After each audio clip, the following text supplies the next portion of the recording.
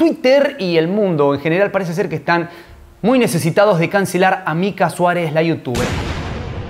Aló, ¿qué pasó? Frikis del carajo, soy Juanito C, esto es Del Carajo TV y les doy la bienvenida a una nueva edición de Freak Show. Es el lugar donde repasamos todas las cosas que son tendencia en el momento y tristemente la tendencia en este momento es hablar de este señor. Kobe Bryant falleció el día de ayer, lamentablemente, uno de los grandes jugadores de la historia del básquet. Podríamos decir que en mi lista de los mejores está en el top 3. Y antes de arrancar directamente con la data y todo y contar un poco qué pasó y quién es él y después seguir con otra data, quiero comentar personalmente que a mí la noticia me, destruyó el día de ayer, estaba bastante bajoneado, así que trataremos de pasar este momento con toda la data lo más... Es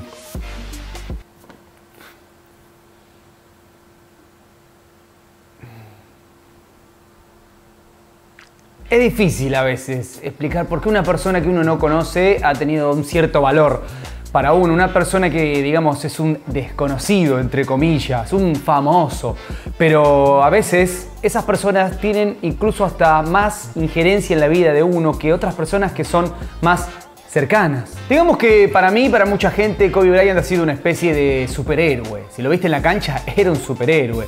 Y fuera de la cancha, de alguna manera mantenía la misma, el mismo halo. Lo que pasa es que, claro, los superhéroes se supone que no deberían morir, ¿verdad? Son superhéroes, son personas superiores. Y cuando pasa esto te das cuenta que al final la vida es igual para todos, no importa. Somos todos personas, somos todos iguales y esto en un momento se acaba. En mi caso mi relación con Kobe Bryant, digamos, empezó un poco agridulce. Lo conocí cuando comenzó con los Lakers, pero era un pibe que apenas comenzó quería tirar todas las pelotas, todas, todas, todas, todas. El pibe quería ser el número uno cuando los Lakers obviamente había una cantidad de jugadores tremendos que no se prestaba para eso. El tipo rápidamente sí se transformó en el número uno y entre otras cosas tuvo unos cuantos modelos de zapatillas, por ejemplo estas Crazy 8 son las que yo usaba toda mi época de básquet cuando jugaba en obras sanitarias de Argentina. Digamos cuando yo quería ser profesional, cuando jugaba partidos todos los sábados y entrenaba de lunes a viernes. Mi fin era ser profesional y la buena época que tuve ahí era con las zapatillas de Kobe, por lo tanto también para mí hay una cuestión bastante nostálgica con Kobe Bryant. Entonces, ¿qué pasó en el día de ayer? Resulta ser que el helicóptero en el que venía volando junto con otras ocho personas, entre las que se incluía su hija de 13 años, Jana María Bryant, se precipitó y murieron todos los que estaban en el helicóptero. ¿Por qué fue tan importante Kobe Bryant para la NBA y también para un montón de personas que no son seguidoras de este deporte? Entre otras cosas porque él siempre predicó una cosa que él llamaba Mamba Mentality. Su apodo era The Black Mamba y esto sería como la mentalidad de Kobe Bryant. Básicamente lo que representa la mentalidad Mamba es constantemente, todo el tiempo tratar de ser la mejor versión de vos mismo. Eso es la mentalidad Mamba. Y el tipo representaba eso a la máxima expresión. Era el primero que llegaba a entrenar, el último que se iba. El tipo no le importaba nada, no le importaba ya ser el número uno. El tipo tenía que ser más que el número uno. Y hay una cantidad de anécdotas espectaculares de cómo el tipo todo el tiempo se la pasaba demostrando que la ética de trabajo le gana a todo el resto. El talento sin trabajo muere. El tipo era talentoso y no se quedó con eso. Trabajó más que nadie para no solo ser ese tipo talentoso, para ser la mejor versión de sí mismo. Así es como el tipo llegó a ganar 5 campeonatos del NBA, 18 veces fue All-Star, 11 veces fue el primer equipo NBA, digamos el quinteto de los 5 mejores del año. 9 veces estuvo en el quinteto de los mejores defensores y se encuentra cuarto en la lista de los máximos anotadores de la historia de la NBA. Y últimamente se lo pudo ver en el Mundial de Básquet junto con Manu Ginobili, por ejemplo, en el costado de la cancha viendo algún partido. La verdad que fue el embajador del Mundial y también ha tenido una carrera muy interesante en el básquet internacional con la selección de los Estados Unidos.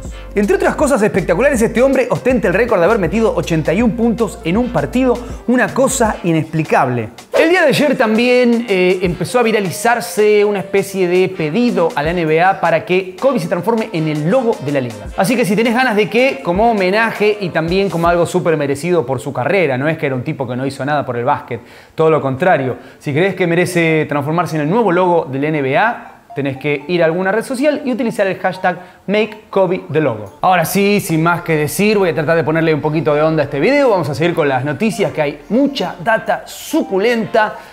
Gracias, Kobe. Ah, la puta madre. Y ahora sí, cambió la actitud completamente, parece magia, no estoy haciendo un esfuerzo sobrehumano, porque tenemos los 10 segundos suculentos y una persona que entra en la dinámica de los 10 segundos suculentos se merece que yo le ponga toda la onda, ¿no? El mensaje del día de hoy lo manda Don Cell, que nos manda su videoclip musical. Quisiera que le dieras promo a mi videoclip musical e invites a tu gente a verlo comentarlo y darle like, obviamente. Y suscribirse a mi canal si les gusta. Así que les voy a dejar por aquí arriba el videoclip para que vayan a chequearlo. Tienen también un enlace en la descripción para chequear el clip.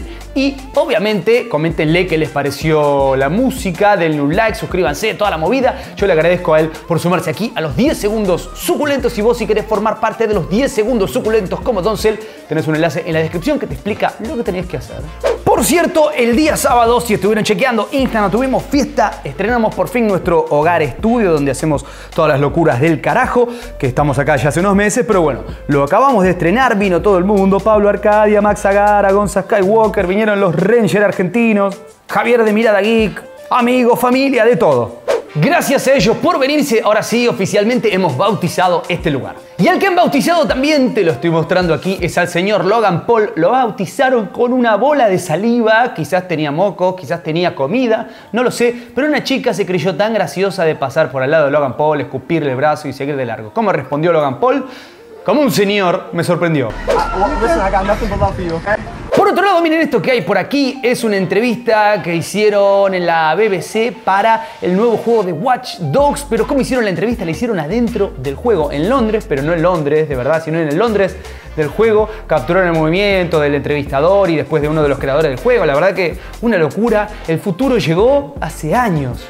Pero más que al futuro nos vamos al pasado. La que habló es la señorita Selena Gómez. En una entrevista dijo que la verdad que su relación con Justin Bieber, como todos hemos sabido, no fue del todo buena y terminó confirmando que hubo mucho abuso emocional por parte de Justin Bieber para con ella y que nunca volvería a una relación de este tipo. Tristemente lo que pasa en muchos estos casos, por más que la mujer esté diciendo la verdad, al ser un tipo tan famoso, le trae muchos problemas. Así que Está bueno el coraje que ha tenido y basta de eh, acostumbrarnos a que las relaciones tengan que ser tan tóxicas, loco. Hablando de tóxica, Twitter es un lugar muy tóxico, ¿verdad? Bueno, Twitter y el mundo en general parece ser que están muy necesitados de cancelar a Mika Suárez, la youtuber. Hace rato que viene siendo tendencia por diferentes cosas poco alegres. En este caso, hace un par de días, un youtuber subió un video donde hablaba de Mika Suárez, hacía una crítica, cosa que es completamente normal cuando tenés una vida pública, digamos, cuando haces cosas frente a un montón de gente, a algunos les va a gustar, a otros no,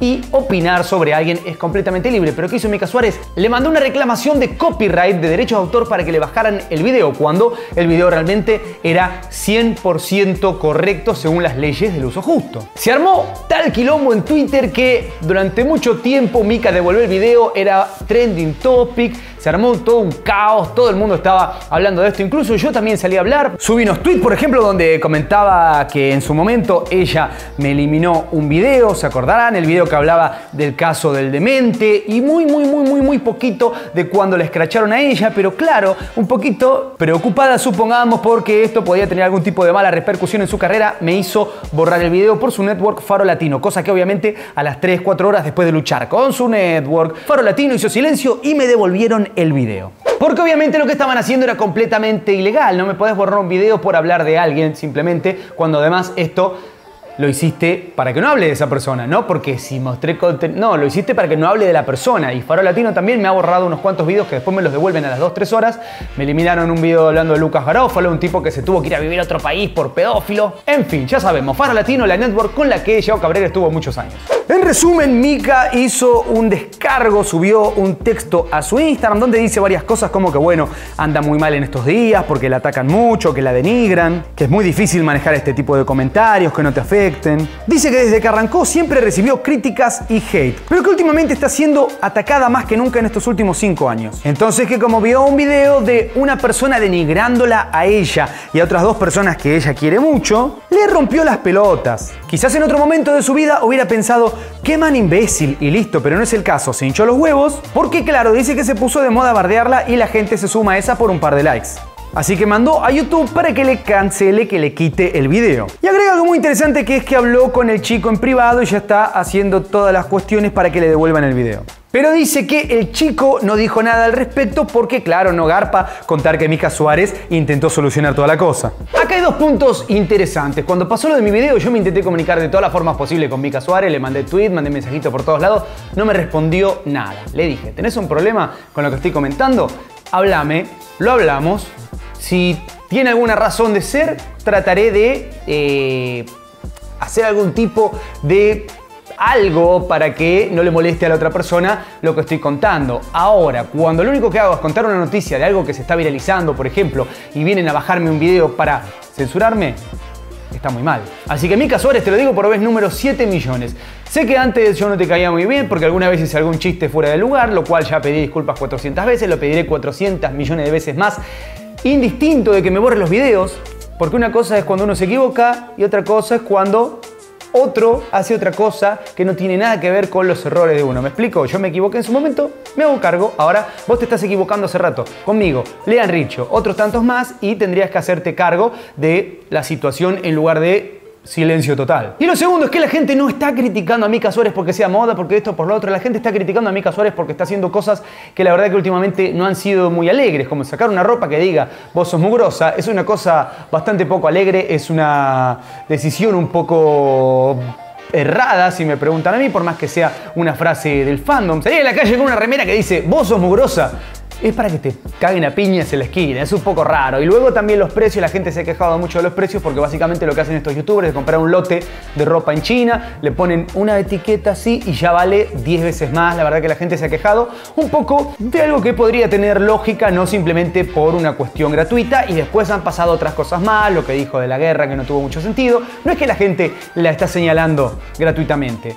Hay una serie de razones que han sucedido y la verdad que no está bueno tirar hate, pero a veces justamente no es hate, es simplemente una opinión. Contame vos qué opinas de todo esto acá abajo, pero por sobre todo no te olvides de darle duro, duro, duro al botón de like, de seguirme en este canal, de suscribirte, de tocar la campanita, de seguirme en mis redes sociales y nada. Aguante Kobe, loco. Me voy al gimnasio con esta camiseta. Kobe en el corazón, loco.